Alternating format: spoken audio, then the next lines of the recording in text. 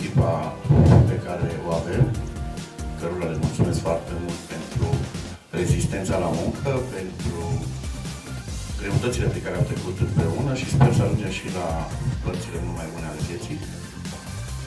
Vreau să vă provoc la un exercițiu de înțelegere și de ă, dorință de a face din economia românească lucruri mult mai bune decât toate aceste războaie care au existat în țara noastră.